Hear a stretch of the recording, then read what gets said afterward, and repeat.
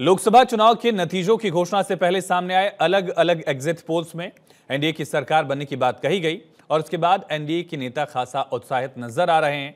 किसी ने exit poll में एनडीए को साढ़े तीन सौ सीटें मिलने का दावा किया तो किसी ने साढ़े तीन सौ से ज़्यादा। इसके बाद सियासी गलियारों में हलचल तेज हो गई है। तीन सौ सत्तर पार करेंगे। एक तरफा वोट किया है भारतीय जनता पार्टी को, मोदी जी को, जनता ने। मुंगेरी लाल के सपने हैं ये उनको भी पता है। लेकिन दिल को बहलाने को गालिब ख्याल अच्छा है। चार तारीख तक कुछ ना कुछ कहेंगे।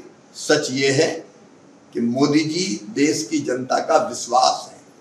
एग्जिट पोल के नतीजे भारतीय जनता पार्टी के आशा के लगभग हैं। चार तारीख को जब मतगणना होगी 12 बजे तक स्थितियाँ स्पष्ट हो जाएँगी। एनडीए पूरे देश में 400 पार करेगा।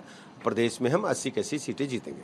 पिछले चार चुनाव में एग्जिट पोल लगभग सही रहे हैं। और मैं एग्जैक्ट पोल पे ही ज़्यादा नतीजों पर बोलना ज़्यादा पसंद करता हूँ, फिर भी जो एग्जिट पोल में आया, वो जो जनता का मूड है, वही आया है।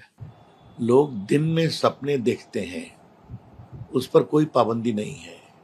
कांग्रेस की हालत इसीलिए हुई है और आगे और होगी क्योंकि दिन में सपना देखना इन्होंने बंद नहीं किया है। ज़मीन पर काम करें, जनता का विश्वास जीते, खाली मोदी जी की आलोचना और गाली गलौज बंद करें।